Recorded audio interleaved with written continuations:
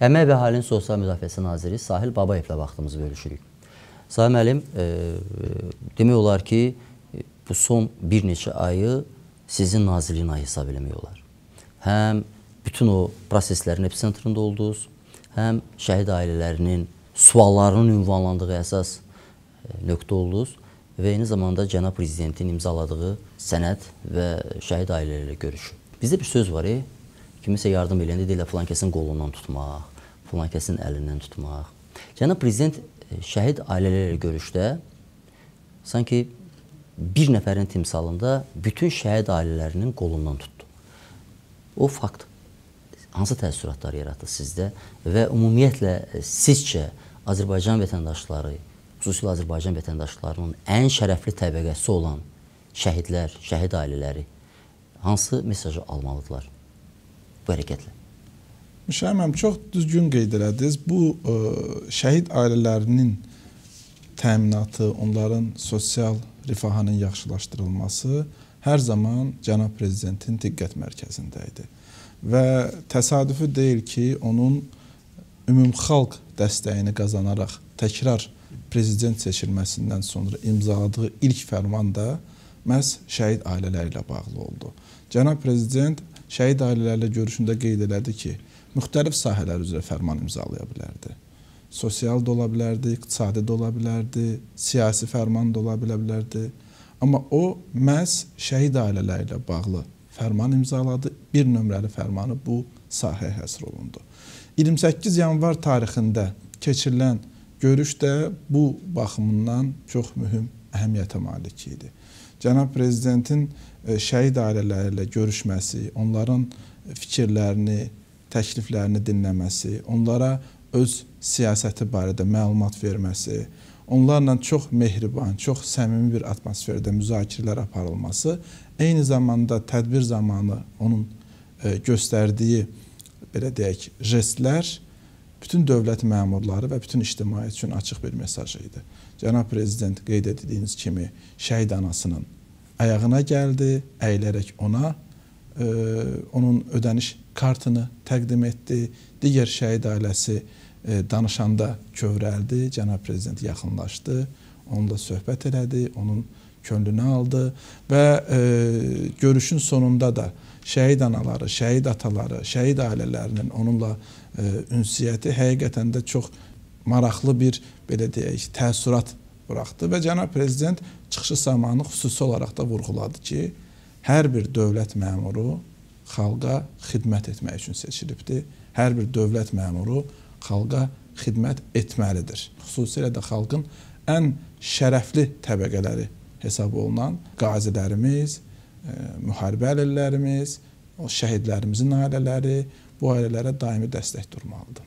Cənab nazir, həm bir dəfəlik müavinət, həm mənzillərlə təminat, həm də prezident təqaüdünün artırılması. Tək bu tədbirlər deyil, bizim bilmədiyimiz digər tədbirlər də var yəqin ki. Bu nə qədər şəhid ailəsinin həyatında e, öz müsbət rolunu oynayacaq. Bu ciddi bir dəstək mexanizmidir və mən e, vurğulayım ki, ilk fərmanın əhatə dairəsində 9543 şəhidimizin vərəsələri var idi. Onlardan 3099 şəhidimizin 4176 vərəsəsinə artıq noyabr-dekabr aylarında ödənişlər həyata keçirilmişdi. Digərləri üzrə də işlər davam edirdi və vurğulayım elə 30 yanvarda bu ə, e, məsələ ilə bağlı yaradılmış komissiyanın növbəti iclası oldu və 661 şəhidimizin 950-dən artıq vərəsəsinə ödənişlərin həyata keçirilməsinə dair qərar qəbul edildi və icraya yönəldildi. Yəni bu ödənişlər həyata keçdikdən sonra e, yaxın günlərdə onların icrası təmin olunacaqdır. Artıq ödəniş almış şəxslərin, vərəsələrin sayı 5000-dən artıq olacaqdır.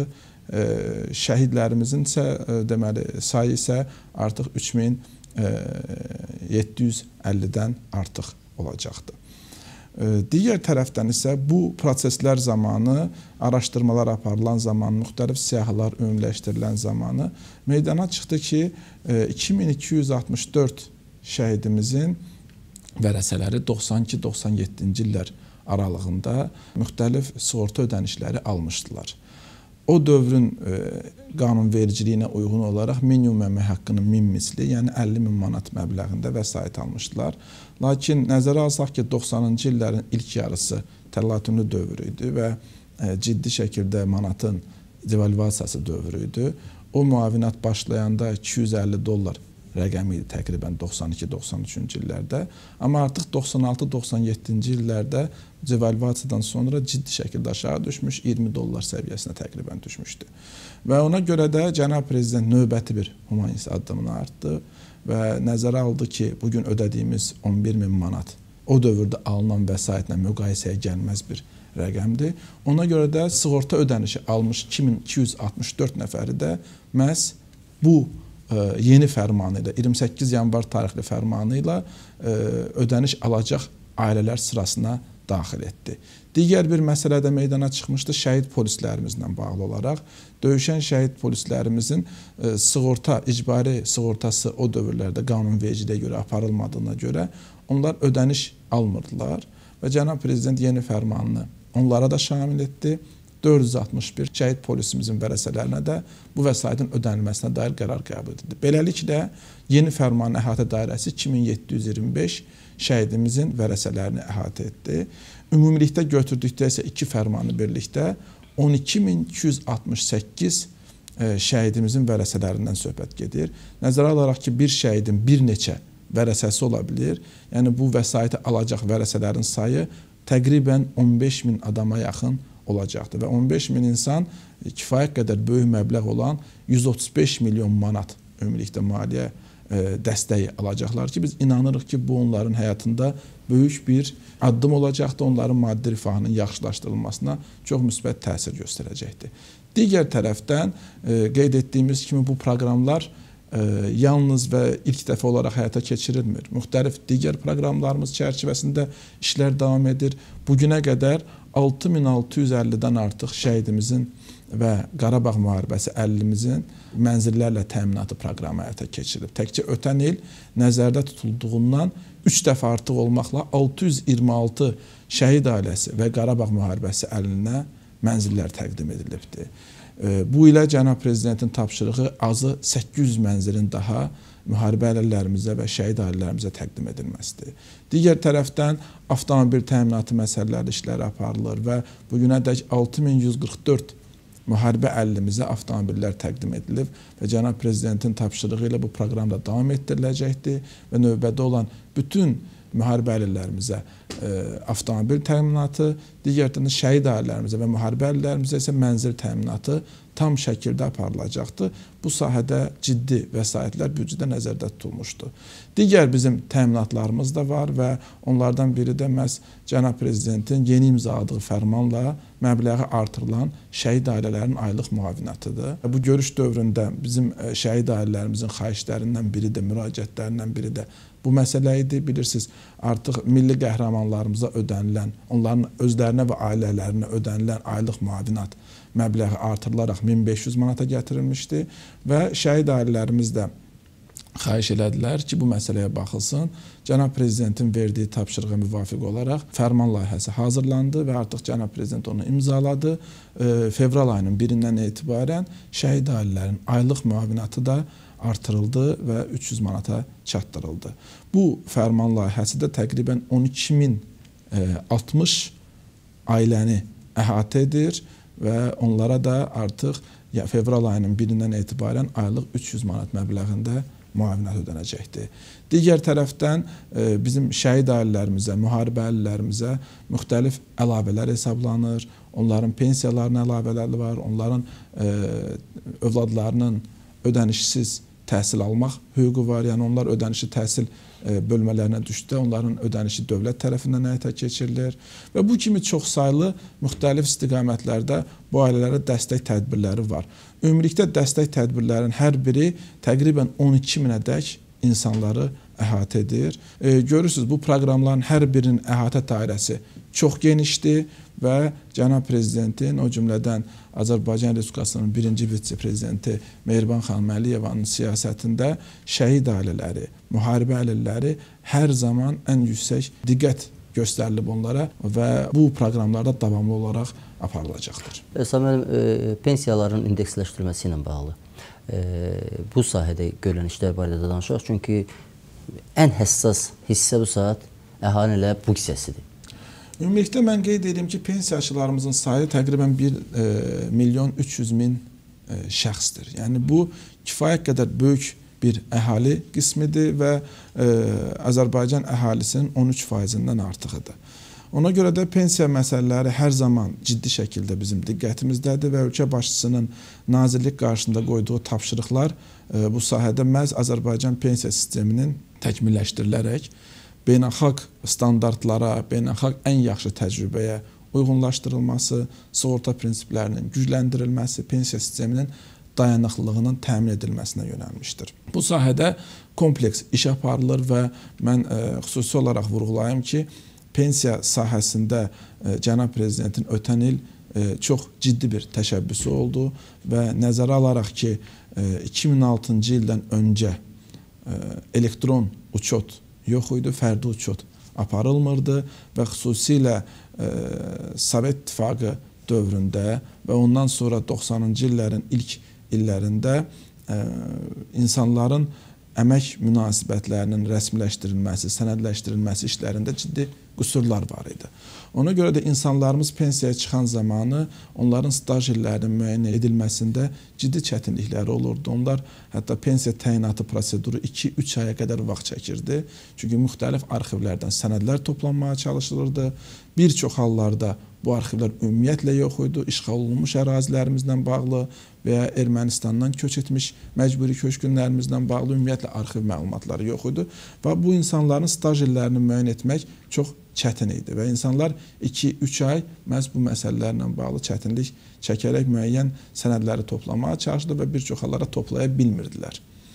Ona görə də cənab prezident böyük bir humanist qərar qəbul etdi və əmək pensiyaları haqqında qanuna dəyişiklik edilərək 2006-cı ilə qədər olan dövr üçün pensiya yaşına çatmış şəxslərə 25 illik staj hər birinə təqdim edildi. Bu da bizə imkan verdi ki, pensiya sistemində olan uzun müddət olan o narazıçılığı aradan qaldıraq və çox böyük operativliyi təmin edək və yanvarın e, birindən etibarən pensiya sistemi Azərbaycanda artıq böyük bir kəsim üçün, yaşa görə pensiya çıxan şəxslər üçün tam olaraq avtomatlaşdırılıbdır.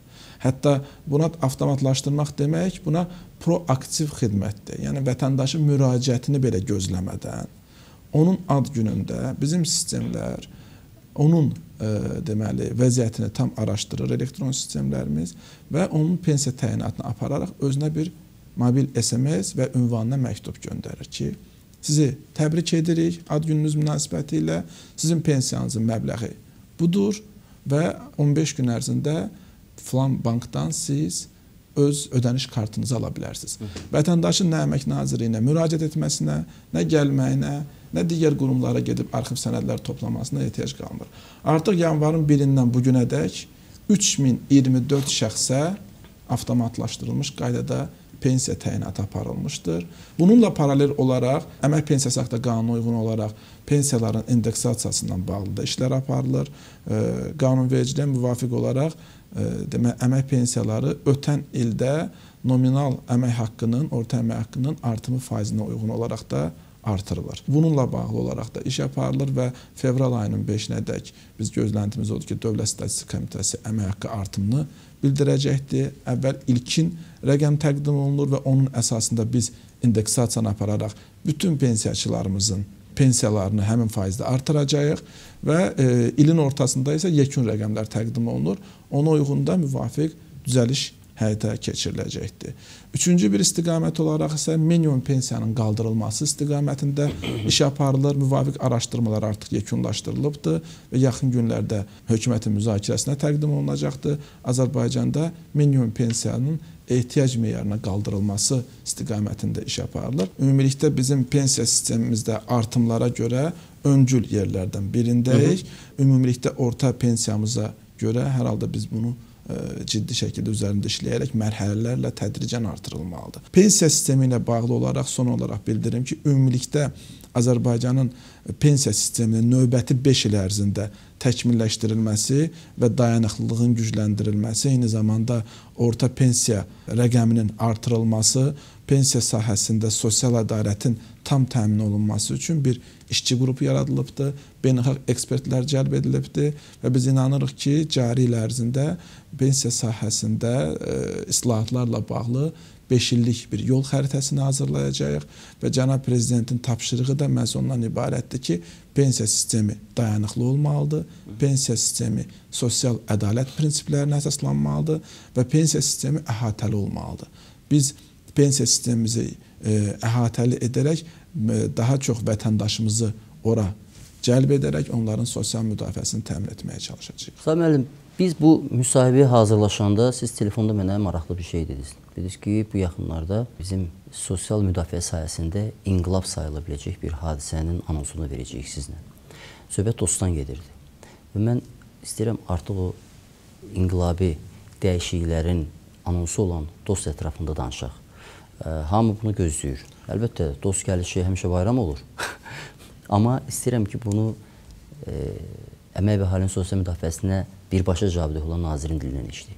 Dost gəlişi bayram olar bir şüar kimi bizim əməkdaşlarımız tərəfindən irəli sürüldü və həqiqətən də çox gözəl bir şüar oldu və dost agentliyinin, dost mexanizminin niyyətini göstərən bir şüardır. Dost agentliyi bilirsiniz ki, birinci vitse-prezident Mehriban xanım Əliyevanın təşəbbüsü ilə elan olundu və e, Dost agentliyinin konsepsiyası ötən ilin noyabrında tam şəkildə təqdim olundu ictimaiyyətə də, bizim e, dövlət qurumlarına da və e, Dost agentliyində biz bu gün nazirliyin göstərdiyi 124 xidmətin mərkəzləşdirilmiş bir pəncərədən vahid və operativ şəkildə həyata keçirilməsini təmin edəcəyik. Bilirsiniz, Azərbaycanda çox uğurlu bir islahat modeli asan xidmətlərlə formalaşdı və insanlarımızın həyatında böyük bir e, sadələşmə, asanlaşma gətirdi və bu bir Azərbaycanın brendi kimi də bir çox xarici ölkələrdə də artıq bu təşəbbüsdən, bu mexanizmdən yararlanmağa, onları təbliğ etməyə başlandı. Biz inanırıq ki, dost ə, e, sosial sahədə ə, e, asan xidmət kimi böyük bir nüfuz qazanacaqdır və həqiqətən də xidmətlərin keyfiyyətinə göstərilməsinə dair böyük bir inqilabi dəyişiklik yaradacaqdır. 124 xidmətimiz bu mərkəzlərdə göstəriləcəkdir. Bunun içində həm məşğulluq, həm əmək münasibətləri, həm əlillik, həm sosial müdafiə, həm sosial təminat, həm peşə ilə bağlı məsələlər, bütün məsələlər, sosial xidmət məsələləri hər biri əhatə olunacaqdır. Artıq 124 xidmətin e, göstərilməsi üçün onların xidmət pasportları da hazırdır. Onlarla bağlı olaraq bizim əməkdaşlarda təlimlər də keçirilibdir. Hər bir xidmətin göstərilməsi qaydası da vətəndaşın dost mərkəzinə girdikdən sonra neçə dəqiqə ərzində xidməti alıb çıxmasına qədər reqlamentləşdirilmiş qaydalar da hazırdır. Vətəndaş dost mərkəzlərinə daxil olanda onun bütün sosial vəziyyəti araşdırılacaq. Hər bir vətəndaşımız üçün fərdi proqram tutulacaq. Məsələn, vətəndaşımız az təminatlı ailədir. Biz ona təkliflər təqdim edəcəyik ki, sizin gəlirləriniz müəyyən edilmiş bu normadan aşağıdır. Biz sizi özünü məşğulluq proqramına yaza bilərik, sizə dövlət tərəfindən aktivlər verilə bilər. Və ya biz sizi ünvanlı sosial yardım proqramına yönəldə bilərik. Və ya biz sizi peşə kursuna yönəldib, peşə təlimi keçib işlə təmin edə bilərik. Və ya biz sizi ictimai işlərə yönəldə bilərik. Və ya əlilliyi varsa vətəndaşın əlilliyi ilə bağlı biz sizə protez məmulatları təqdim edə bilərik. Sizi ev növbəsinə götürə bilərik, sizə avtomobil. Yəni vətəndaşın bütün sosial portfeli analiz olunacaq bizim işçilər tərəfindən. Biz onlara artıq əmək müfəttişliyinin işçisi və ya məşğulluq xidmətinin işçisi kimi yanaşmırıq. Biz onları sosial agent adlandıracağıq. Ki vətəndaş o əməkdaşa yaxınlaşanda onun bütün sosial vəziyyətini sosial agent qiymətləndirməlidir və elektron sistemlər üzərindən bu müraciətləri təmin etməlidir. Qərarların böyük əksəriyyəti, yəni 124 xidmətin 70-ə yaxını artıq elektron qaydada orada göstəriləcəkdir.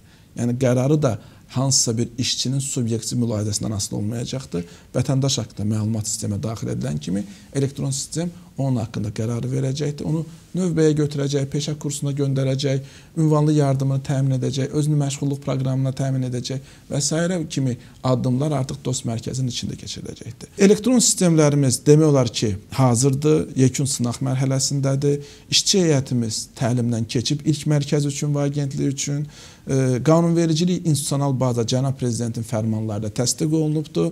Yekun təmir tikinti işlərini gözləyirik. Bizim düşüncəmiz odur ki, mart ayı ərzində bu olsun. İndi martın əvvəli, ortası, sonu Ortası olsa reallan bir vaxta düşürük, ad günümüzə düşür. Və təmirin gedişindən asılıdır artıq o. Biz e, böyük e, səbirsizliklə gözləyirik. İlk mərkəzi açdıqdan sonra eyni zamanda paralel işlər aparılır. Bakı şəhərində bu il daha 3 mərkəzin açılması. Hı -hı. Əgər e, bu təmir tikinti işlərini çatdırasaq və 4 mərkəz təmin edilsə Bakı şəhərində, bütün Bakı əhalisini əhatə etmiş olacağıq. Və növbəti ildə regionlarda başlayacaqdır. Ümumilikdə bizim planımız 31 dost mərkəzinin yaradılmasıdır və o 31 dost mərkəzi şəbəkəsi bütün ölkə üzrə 2 milyon 800 min insanımıza xidmət edəcək. Biz eyni zamanda beynəlxalq təcrübəni də ciddi araşdırmışıq dostlar. Bağlı Vahid pəncərə ilə bağlı müxtəlif beynəlxalq ekspertləri də cəlb etmişik. Dünya Bankı, BMT, Avropa İttifaqının alətləri vasitəsilə e, araşdırmalar aparılıbdı. Dünyada olan müxtəlif vahid pəncərə sistemləri tam şəkildə araşdırılıbdı və bu səpkidə, bu həcmdə sosial xidməti vahid pəncərədən göstərən çox az ölkə var. Hətta mən deyərdim 124 xidməti nəzərə alanda biz ən çox xidmət göstərən bir orqan, e, bir qurum, bir nümunə olacağıq. E, Avropa İttifaqının bir sıra ölkələrində məsələn məşğulluq üzrə xidmətlər vahid pəncərədən göstərilir. Bir sıra ölkələrdə əlillik üzrə xidmətlər vahid pəncərədən göstərilir. Amma e, həm məşğulluq, həm əlillik, həm əmək, həm sosial müdafiə, sosial təminatın hər birinin bir vahid bir dam altına yığılması təcrübəsi ilkdir və mən ona görə də inanıram ki, dost konsepsiyası Azərbaycanın növbəti uğurlu bir brendi kimi beynəlxalq təcrübəyə də böyük bir töhfə vermiş olacaq. Mən istəyirəm Nazirliyin vahid məşğulluq portalı nə vaxt istifadə ediləcək sualını verim, amma eyni zamanda bu sualdan qabaq istəyirəm e-sosialla bağlı danışaq. Orada işlər necə gedir? Necə e, işləyir, yəni bu proyekt olaraq? Bu alətlərimiz də e, cənab prezidentin qarşımıza qoyduğu ana tələb olan e, xidmətin keyfiyyətinin yaxşılaşdırılması və şəffaflığın təmin edilməsi istiqamətlərindən gəlir. E-sosial portalının artıq bu günə 10 mindən çox istifadəçisi var və gözləntimiz odur ki, cari il ərzində bu artıq 100 minlərlə insanımızı əhatə edəcəkdir. Çünki e-sosial portalı bütün vətəndaşın özü haqqında bütün sosial məlumatlara çıxış əldə edə biləcəyi vahid bir şəxsi kabinetdir. Hər bir vətəndaşımız adi e-mailin e-mail registrasiyasında olan prosedurlarla eyni prosedurdan keçərək e-sosial portalında öz şəxsi kabinetini aça bilər və bu kabinetində onun imzaladığı əmək müqavilələri, qüvvədə olan və keçmiş Onun aylıq əmək haqqısı 2006-cı ildən bu günədək hər ay üzrə əmək haqqısı nə qədər olubdu, nə qədər sosial sığorta hesablanıbdı və nə qədər ödənilibdi. Əlilliyi olan vətəndaş isə mənzil növbəsində neçəncidir, avtomobil növbəsində neçəncidir, hansı protez məmulatları bu günədək alıbdı, hansılara müraciət edə bilər, məşğulluq sahəsində eyni hansı xidmətləri əldə edib, hansı xidmətləri əldə edə bilər O cümlədən Əmək Nazirliyinə olan bu günədək bütün müraciətləri, yazılı, e-mail, telefon vasitəsilə çağrı mərkəzinə zəngi aldığı cavablar, bütün məlumatlar orada var. Və faktiki olaraq Mirşahin müəllim, mən düşünürəm ki, e-sosial portalının ən böyük əhəmiyyəti ondadır ki, biz hər bir Azərbaycan vətəndaşını özümüz üzərində ictimai nəzarətçiyə çevirmişik. Yəni hər bir vətəndaş e-sosial portalına girərək özü haqqında məlumatlara baxa bilər hər hansı bir narazılığı, hər hansı bir iradı, dürüstləşməsi varsa nazirliyə müraciət edə bilər.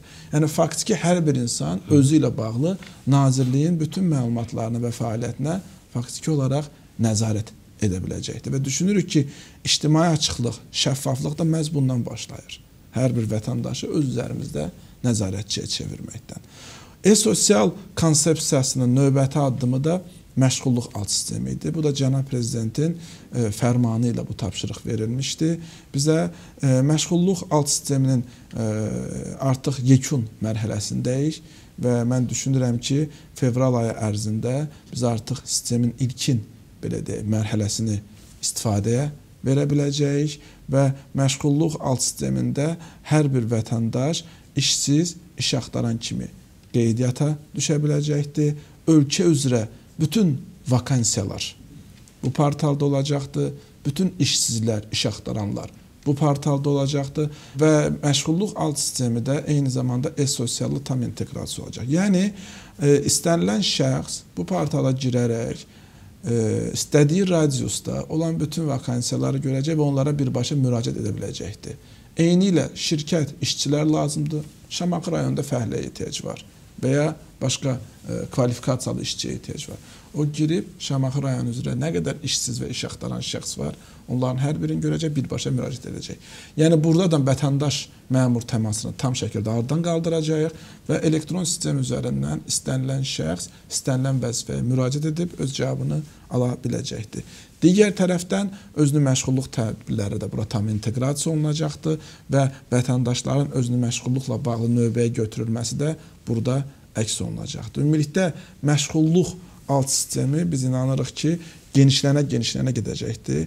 Peşə e, təlimi məsələləri də növbəti mərhələdə ora əlavə olunacaqdır.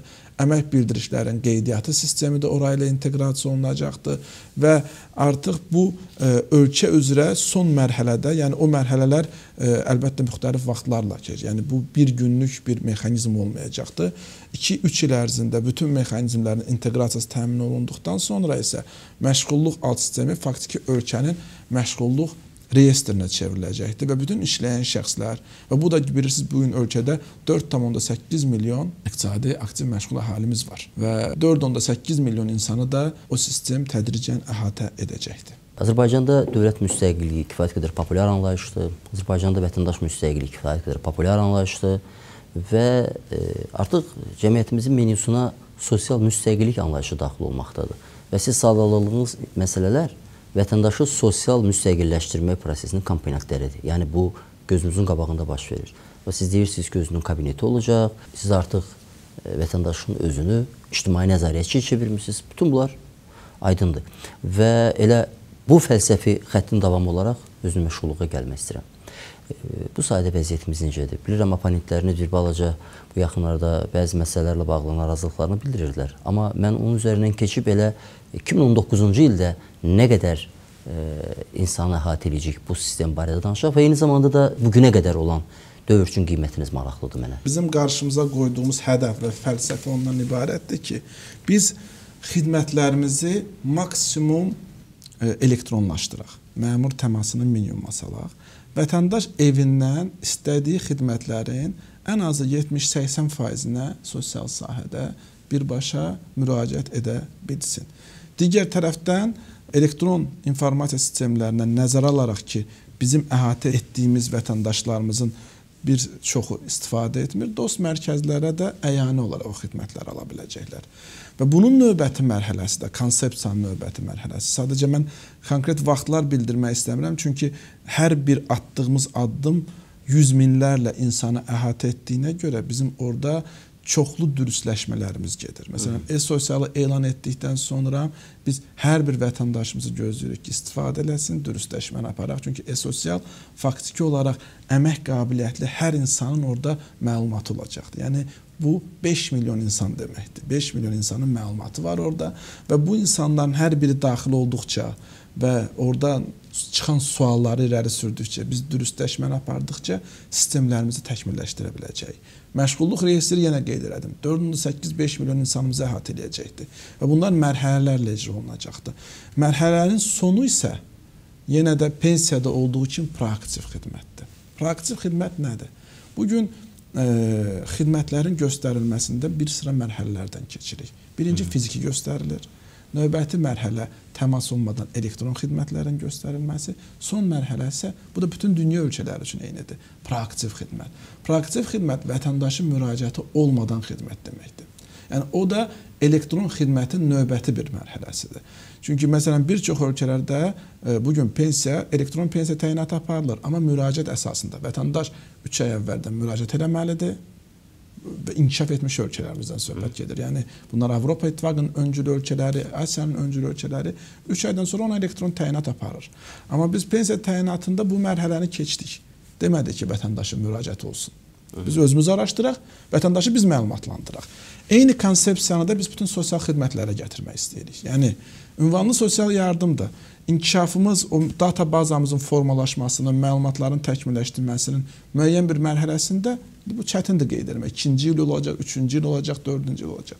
Biz artıq vətəndaşın müraciətini gözləməyəcəyik. Sistemlərimiz artıq o insanlar haqqında ətraflı məlumat əldə etdikdən sonra biz insana məlumat göndərəcəyik ki, hörmətli Əli müəllim məsələn, siz ünvanlı sosial yardıma düşürsüz. Arzulayırsınızsa bura klik eləyin. O klik edən kimi onun ünvanlı yardım başlayacaqdır. Hörmətli vətəndaş, siz özünü məşğulluğa düşürsüz. Sizin kriteriyalarınız uyğun gəlir. İstəyirsinizsə bunu klik edin. Amma bu son mərhələmiz olacaqdır. Ona görə də e, ümumi fəlsəfəyə baxsaz, sosial sahədə bizim yanaşmamız odur ki, birinci e, dost mərkəzlərimiz vasitəsilə cari xidmətləri maksimum operativ, səmərəli və effektiv edək. İkinci, bununla paralel olaraq elektron xidmətlərimizi gücləndirək və insanlarımızın hər birini təşviq edək ki, elektron xidmətlərə, e-sosiala, məşğulluğa və digər portallara girərək özləri haqqında məlumatlara baxsınlar, sualları varsa versinlər, dürüstləşmələr aparaq və son nəticədə təkmil bazanı əldə etdikdən sonra isə artıq insanlarımızı proaktiv xidmətlərlə keçirdək və o şəkildə dəstək verək. Sualınızın ikinci hissəsinə gəldikdə, özünü məşğulluq proqramı mən vurğulayım ki, çox vacib bir sosial instrumentdir. Özünü məşğulluq proqramı insanlarımızı passiv sosial təminatdan aktiv sosial təminata keçirir. Yəni biri var ki, vətəndaşımız e, işləmir, oturur evdə, müxtəlif sosial müavinət və ya ünvanlı yardım alır. İkinci istiqamət isə biz vətəndaşımızı kiçik və mikro biznesmenə çeviririk. Yəni balıq yeməyi öyrətmirik, balıq Bəli, tutmağı öyrədirik. Əli baxımlığı aradan Bəli. qaldırırıq və onları işləməyə yönəldirik. Onlara öz biznesini yaratmağa kömək edirik. Və özünü məşğulluq proqramı e, ölkə başçısının tapşırığına uyğun olaraq ötən il çox böyük bir vüsət aldı. Təsəvvür edin ki, 16-17-ci illərdə cəmi 1200 ailə, 1200 şəxs cəlb edilmişdisə, təkcə 18-ci ildə bu proqram 6 dəfədən çox genişləndirildi. Uğur əmsalını biz hər halda bu ilin sonlarında qiymətləndirə biləcəyik, amma bizim gözləntimiz çox yüksəkdir. Yəni burada tam əksini gözləyirik. Ən azı 80% bunun uğurlu olmalıdır. Çünki ilkin kapital o vətəndaşlara təqdim olunubdur. Çətin təsərrüfat deyil. Yəni bunlar kəndlərdə yaşayan, onsuz da heyvanlara qulluq edən insanlar idi. E, müxtəlif ölkələrin təcrübələrinə baxmışıq. Müxtəlif ölkələrdə bunun uğur əmsalı fərqlidir. Amma Azərbaycanda e, nəzərə alaraq ki, kəndlərimizdə, rayonlarımızda ənənəvi olaraq bu məşğulluq növü geniş yayılıbdır. Biz onun uğur faizini kifayət qədər yüksək götürürük. Məndə yaranmış ilkin fikir böyük əksəriyyətin çox böyük təəssüratla, çox böyük sevinclə, çox böyük dəstəklə bu proqramı icra etməsidir. Hər rayonda vətəndaş qəbulları zamanı biz mütləq orada verilmiş aktiv paylanmış bir neçə ailəni də gəzirik və vətəndaşlarımızın hər biri özləri qeyd edir. Bir ildən sonra gəlin görəcəksiniz qoyunun sayı 2 dəfə artıbdı, inəyin sayı 2 dəfə artıbdı. Arı təsərrüfatları çox gözəl nəticə göstərirlər və aylıq onların gəlirləri 500 manatla 1000 manat arası dəyişə bilir. Ötən il ərzində 29 min baş heyvan paylandı bizim regionlarımızda vətəndaşlarımıza. Əlbəttə ki, e, bu böyük bir rəqəmdir. Noyabr-dekabr aylarında bu e, paylaşımlar getdi və böyük əksəriyyətinin, mütləq əksəriyyətinin tam şəkildə razılığını eşidirik. Heyvanlar yerli mallar olmalıdır. Heyvanlar ə, həmin regionun malları olmalıdır və ə, verilən bu iri buynuzlu və kiçik buynuzlu heyvanların da hər biri müvafiq ə, baytarlıq arayışı ilə təqdim olunur. Yəni həkim yoxlamasından keçir, vətəndaşın özü bu heyvanları qəbul edir, özü aktı imzalayır, razılığını bildirir və biz tam şəffaflığın təmin edilməsi üçün video çəkilişlə bağlı da tapşırıq vermişik ki, vətəndaşın razılığı ilə aktları qəbul edən zamanı video çəkilişlər keçirir, çəkilsin və bu video çəkilişlər də qayıdırıq indi məşğulluq alt sistemimizə. O işə düşdükdən sonra hər kəsin kabinetində olacaqdır. Həmin Hı. vətəndaşın ə, e, özünü məşğulluq proqramına qoşulması, təlim keçməsi, biznes planını müdafiə eləməsi, aktivləri təhvil alınması və hər rübün monitorinqi video çəkilişi orada olacaqdır və e, bizə bu günədək gələn bütün şikayətləri biz araşdırırıq. 119 heyvanla bağlı açıqlamamızda bildirdik.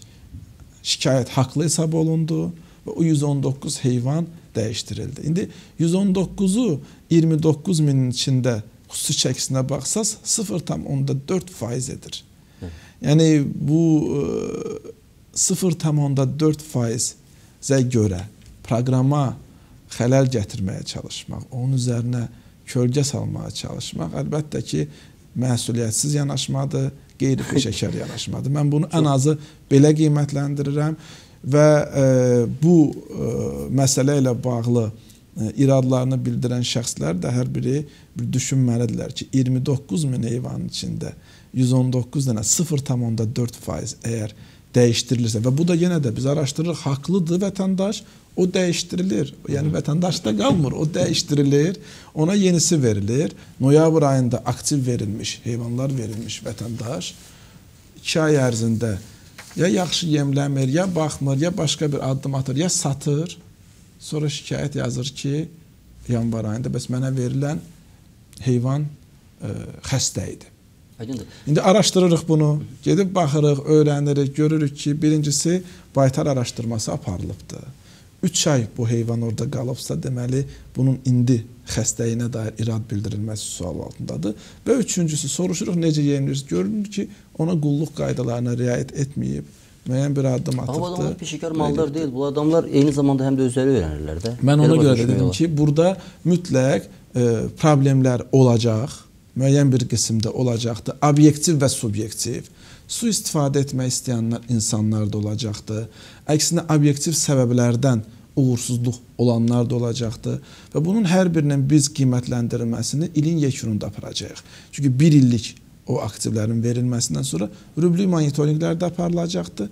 İlin sonunda yekun qiymətləndirməmiz aparılacaq ki, nə dərəcədə uğurlu oldu. Amma ümumilikdə düşünün ki, bu proqram ötən il 5000 kiçik müəssisə yaratdı. Bu ilə planımız 7-8 mindir və hər il ölkədə 7-8 min mikro və kiçik biznes yaranacaqdır. Və bunun sahibkarlıq mühitinə, ölkə iqtisadiyyatına, kənd təsərrüfatına verəcəyi dəstəyin həcmi çox böyükdür və çox böyük də gözləntilərimiz var. Biz indi ancaq heyvandarlıq və kənd təsərrüfatı seqmentinə toxunduq. Onun böyük bir istehsalat və xidmət segmenti də var. Ki ötən il 1200-ə e, yaxın bizim vətəndaşımız məhz istehsalat və xidmət sahələrinə müraciət elədi. Onların da aktivləri paylanılır və onlara çox böyük bir uğur göstəricisi olacağına mən inanıram. Mən artıq bir neçə xidmət sahələrində dolmuşam və ümumi e, bu proqramdan yararlanan insanlara baxdıqda isə görürük ki, əhalimizin ən kövrək spektri burada geniş əhatə olunubdur o aktiv almış 5000 insanın minə yaxını əlilliyi olan şəxslərdir. 820 nəfəri ünvanlı yardım alan şəxslərdir. Yəni ünvanlı yardımdan o insanlar ələ baxımlıqdan keçiblər özləri işləməyə, özləri qazanmağa. Ee, onun içində 158 nəfər şəhid ailəsidir.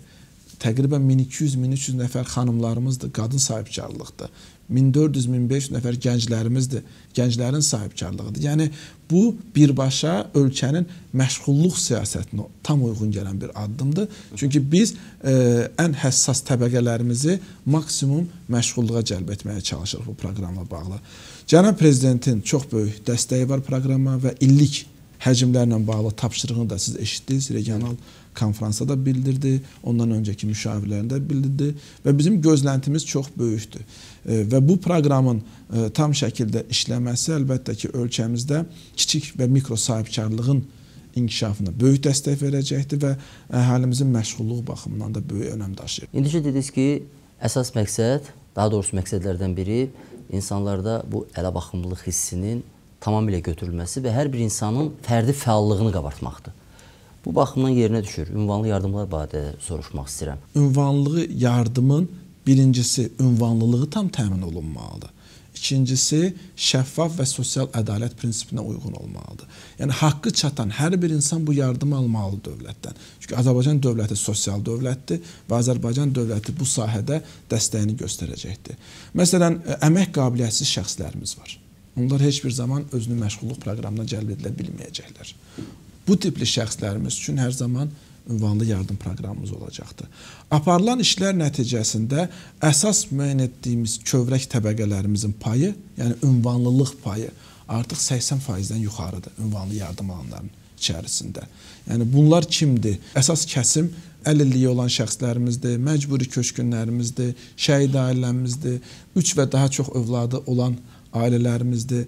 Bu səbkili ailələrin payı artıq mütləq əksəriyyətdir ünvanlı yardım alanların içərisində. Ünvanlılığın təmin edilməsi və proqramın genişləndirilməsi istiqamətində işimizi aparacağıq biz və artıq ilk ə, addımlar da atıldı bu sahədə. Ə, 28 yanvardan etibarən ə, prosedur biraz daha sadələşdirildi. Ötən il bizə gələn müraciətlərin içində xüsusi çəkiyə malik bir məsələ var idi. Bir çox vətəndaşlarımızın xüsusilə ə, regionlarda torpaq pay mülkiyyətləri var və torpaq pay mülkiyyətləri üzərində onların hüquqlarının tanınmasına dair dövlət aktı mövcud idi. Lakin onlar mülkiyyət hüququna dair çıxarış almaq proseduru uzun çəkdiyinə, müxtəlif hüquqi çətinliklər yarandığına, yəni o, o pay üzrə olan bütün şəxslərin hamısının vərəsələrin və digərlərin razılığı olmalıdır. Bir çoxlarının ailələrində dəyişikliklər olubdur, xaricdə yaşayanlar var. Hüquqi prosedur və maliyyə yükü olduğuna görə bir çox insanlar bu çıxarışlar almasında çətinlik çəkirdilər və ona görə də ünvanlı yardıma müraciət edə bilmirdilər. Artıq e, edilmiş dəyişikliklər nəticəsində qaydalar dəyişdirildi və elektron sistem dəyişdirildi. Yanvarın 28-dən etibarən bu insanlarımız da ünvanlı yardım üçün müraciət edə bilərlər. Onlardan çıxarış tələb olunmur dövlət aktı ilə onlar artıq müraciətlərini edə biləcəklər və onlar da ünvanlı yardım konsepsiyasına daxil ediləcəkdir. Eyni zamanda e, bizim burada işlərimiz davam edir. Qanunverici təklifləri hazırlayırıq. Məsələn, bir segmentimiz var. Kreditlər ünvanlı yardım proqramı VEMTAS proqramı tərəfindən gəlir olaraq hesablanılırdı və bir çox hallarda olurdu ki, insanlar təxirə salınmaz ehtiyacları üçün kredit götürür, sonra bu krediti qaytarırlar geri. Amma bu gəliri hesab olunduğuna görə o insanın ümumi gəliri yüksək görünürdü və onlar ünvanlı yardım proqramına düşə bilmirdilər. Nəzərə alaraq ki, kreditlər geri qaytarılan gəlirdi. Ona görə də biz e, kreditin gəlir hesab edilməməsinə dair də qanunverici təkliflərini hazırlamışıq. O prosedurda yekunlaşdıqdan sonra o kateqoriya vətəndaşlarımız da ünvanlı yardım proqramına biz əlavə edə biləcəyik. Ümumilikdə ünvanlı yardım proqramı üzərində təkmilləşmələr daimi aparılacaqdır. Çünki burada bir çox kriteriyalar var. Müraciətlər kifayət qədər çoxdur və insanlarımızın həqiqətən də haqqı çatan şəxslərin bura tam cəlb olunması ünvanlığın tam təmin edilməsi üçün burada mütəmadi olaraq təkmilləşdirmələr aparılacaqdır. Çox sağ olun cənab nazir. Mən təşəkkür edirəm. Mən təsadüfən sizin tutduğunuz postun adını Azərbaycan 2-ci Müdafiə Naziri adlandırmıram. Uğurlar arzulayıram. Təşəkkür edirəm.